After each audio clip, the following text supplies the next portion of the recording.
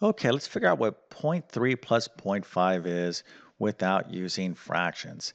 Now, if uh, some of you out there are saying, isn't 0.3 0.5, isn't that a 0.8? And if you said 0.8, I, uh, in turn, must give you a happy face and a check mark and say, that's very good. Matter of fact, that is the correct answer when you're adding decimals. Now, 0.3 plus 0.5 is equal to 0.8. But what we can do is we can convert these decimals into fractions and then use fractions to figure this out as well. And you'll see how it's equivalent to our uh, decimal answer as 0.8. It's critical that you know how to work uh, uh, convert decimals to fractions and fractions to decimals. So this will be a nice basic problem uh, to kind of go over some of those important concepts that you need to know about decimals and fractions. So we're going to get to this in just one second, but first let me quickly introduce myself. My name is John. I'm the founder of TabletClass Math. I'm also a middle and high school math teacher, and uh, over several years I've constructed what I like to believe is one of the best online math help programs there is. Of course, I'll let you be the judge of that. You can check out my math help program by following the link in the description of this video. Uh, but basically, I have 100 plus different uh, math courses ranging from pre-algebra, algebra 1, geometry, algebra 2. Uh, I'm going to be launching pre-calculus here uh, shortly. Pretty excited about that. But I also do a lot in the area of test preparation. So if you're studying for the GED, HiSET, TASC, maybe uh, uh, the CLEP exam, AccuPlacer, uh, SAT, ACT, maybe a teacher certification exam or nursing school entrance exam. There's so many exams out there that people have to take, and all those exams have a considerable amount of math on them. And if you don't do well in the math section, you don't get through the exam. So we don't want that to happen. Uh, so go ahead and go to my website if you need help with uh, any of these exams. Check out my full course catalog. I should have what you're studying for. Now, if I do not, uh, drop me a line in, in, my contact form and I'll help you out the best I can. Um, I also uh, work a lot with independent learners like homeschoolers. I have a great homeschool learning pro, uh, program, so you might want to check that out. And then obviously help those of you that are um, struggling in your current math course. Now, if you're serious about learning math, then you must be serious about note taking. All right. So, over decades of teaching mathematics, it's apparent to me that those students who take fantastic notes, really work hard every day in class, guess what? They always look like this person at the uh, end of the year with their A. plus. And the reverse is true. Those students who like to uh, get on their cell phone, uh, talk to their friends, and do homework from uh, in other classes it, during math class. Well, guess what? I did all that kind of good stuff back in the 1980s when I was in school, except for the self-pho part. But but believe me when I tell you, I was uh, completely distracted until I, uh, you know, went to college and I figured out how to, you know, what I needed to do to actually learn, and that is stay focused and engaged. You got to take notes, and the only way you're going to learn anything is to uh, remain highly focused. Focus is the key to success uh, to success, period. So you need an activity that's going to keep you focused. That's note taking. Okay, so improve your notes.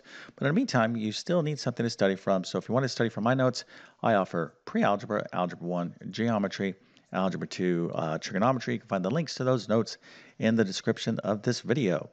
Okay, so 0.3 plus 0.5, very, very easy problem.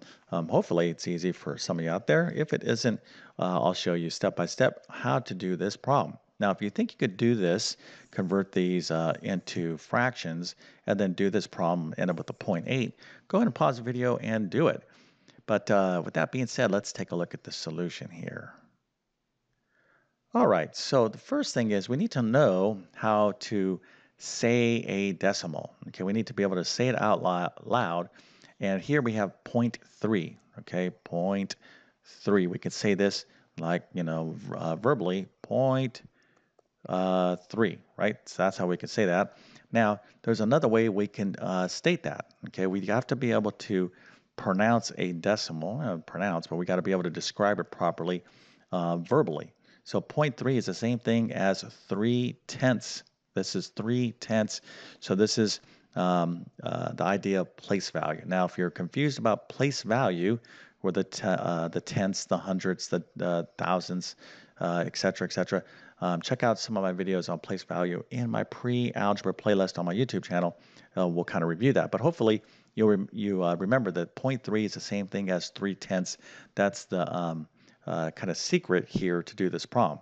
So if 0.3 is 3 tenths, then 0.5 uh, is 5 tenths. Okay, so uh, this five and these three are in the tenths places in terms of place value. So you got you're going to want to review that. Okay, but anyways, if you understand that, then we can uh, move on with the rest of this problem. Okay, so that's the really first key step is to be able to say these decimals properly. All right, now we're here, we have 3 tenths plus 5 tenths. We want to add these fractions. We can add them because the denominators is the same. Okay, we don't um, need to find the lowest common denominator. In fact, we do have a common denominator. 10 is common with 10, exactly common. So we can write this now as uh, 10 as the denominator excuse me, as, a, as the denominator, and then we just simply add the numerators, 3 plus 5, okay? So we can go from here to here because we have the same denominator. Now, of course, if you had something like 1 uh, tenths plus uh, 3 sevenths, uh, these denominators are not the same. You need to do something else to fix this. Okay, you got to find the low, lowest common denominator, etc. Matter of fact, you'll want to check out one of my videos uh, I think it's called uh, Best Hack for Fractions. It's in my pre-algebra and algebra playlist on my channel. I, it has, I don't know, over 500,000 views. I've already launched it pretty quickly, uh, but it's one of the, it's going to show you how to add and subtract fractions in a very easy way, even if you're confused about finding the LCD. So check out that video as well if you want to know more about fractions. I have tons of videos on fractions because fractions are everywhere. So you might as well just make friends with them. You know, be like, okay, you know, don't you know, be angry at fractions. So many students are like, mm, you know, like fractions. I hate fractions. I can remember way back mm, in the 1970s in elementary school doing fractions, and I was just like, I don't want to deal with them. So I get it. Anyways, uh, check out more of my videos on fractions. You will, uh, you know, it'll help you out big time. Okay. All right. Anyway, let's get back to the problem. All right. So 3 tenths plus 5 tenths is the same thing as 3 plus 5 now over 10. Okay, so 3 plus 5, of course, is 8 over 10. And here, 8 10, okay, or 8 over 10, or 8 tenths. How do I write that? Well, 8 tenths, all right, if I convert this, you should know that this is 0.8. Okay, this is 8 tenths as a decimal. And wasn't that our answer way up here? Okay, indeed it was, right? So when you're adding decimals, you're going to get 0.8.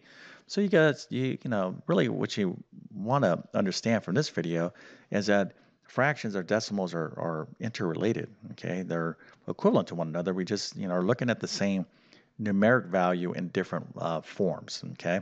So here is our 8 tenths as our answer, but we want to go ahead and reduce that fraction 8 tenths to 4 fifths, right? 2 goes into 8, 4, and 2 goes into 10.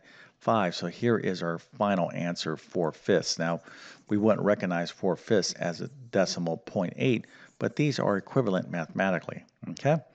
All right, so this is uh, going to wrap it up for this little video here.